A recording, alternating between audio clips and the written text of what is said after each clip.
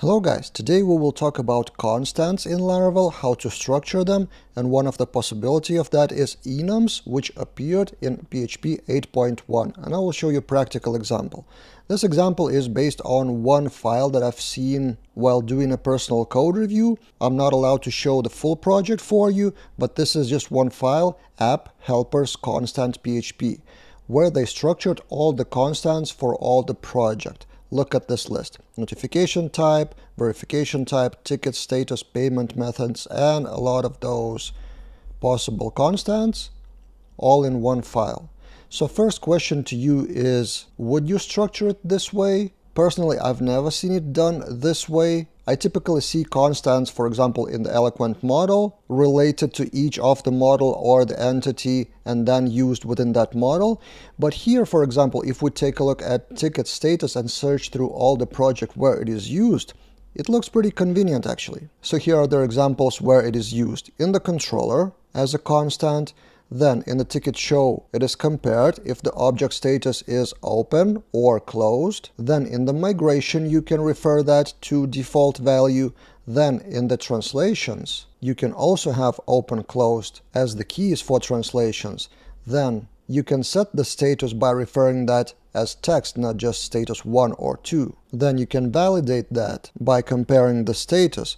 Also, you can use that in seeds. It's kind of like seeds. So you can reference that constant or particular value of that constant in a lot of files, and this is how it was structured in that project. So again, question to you, what do you think about this structure?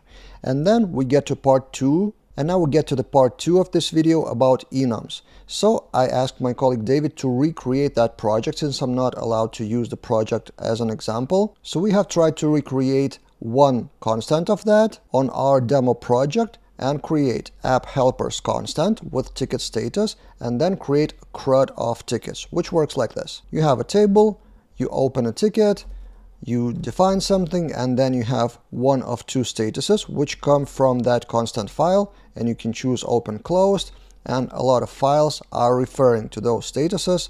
Here's how it looks in our code. So I will show you the PHP Storm search result, zoomed a bit, where that ticket status is actually used. It's similar to the GitHub original project. So the form request class rule in, in both store and update ticket. Then in the model, we have additional attributes like get is open attribute and get is closed attribute, which is just a helper function accessor to get ticket is open or not. Then in the factory, in addition to the main factory of ticket, we have additional states of opened and closed ticket. Then in the migration, we set the default, similar to the original repository. Then in the translations, we have it like this. So statuses as key and then closed or open have their own translation. And we translated that as well to our native Lithuanian language as an example.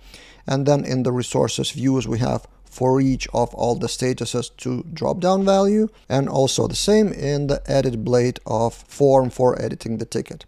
So a bit more structured than original repository, a bit more close to my philosophy how CRUD should be done, and the repository, by the way, will be public on GitHub. So again, what do you think about this approach? So in the database, you have the number saved, but all over PHP code and Laravel code, you can refer the constant like this. And now let's get to the interesting part. Let's transform that to the enum classes of PHP 8.1. And here I will show you a pull request by my colleague David doing that thing. So you can take a look at the repository. There's a pull request for the enums. I will not merge it. I will just show it in the video for clear differences. So files changed 13 and what do we transform? Instead of that helpers constant file, we have enums class. So we have enum syntax PHP 8.1 and then you define open 1, closed 2. And how do you reference all of that in the code? So in the validation class, in the form request class, we can use Laravel function for enum. This is supported by Laravel. So instead of rule in, you have enum rule, which is part of Laravel behavior. You just pass the class and this is validated for you. Similar to update ticket request, same thing. Then in the model, instead of referencing the constant, we reference the value of the enum class, open or closed. This part is important actually. Laravel also allows you to cast the enum class to the value. This allows you to refer as ticket status and Laravel will transform everything behind the scenes for you. You can try it out and it's all in the documentation and I will link that in the description below. Let's move on. What else we need to change? Here, for example, we can refer constant ticket status open as ticket status open value. It's just a different syntax. And if you refer to ticket status open, there are a few more helpers in addition to value and we'll get to them in a minute. So ticket status closed value, same thing in the migration. Default again is open with a different syntax. In the translations, it's also used, but in this case it's not a value, it's a name, so closed or open, and similar in another translation file. Then, for loops of enum potential values, there's cases. For each of the cases of that enum, again you have the value and the name for each case, and same for edit blade, here cases. And in the index blade, what has been changed? Oh, this one, this is powered by casts. So when you have casts in your model, you can refer to ticket status and then get the name of that. So same in the index of tickets and same in the tickets show. So what is the main benefit of using enum class in PHP and in Laravel in general?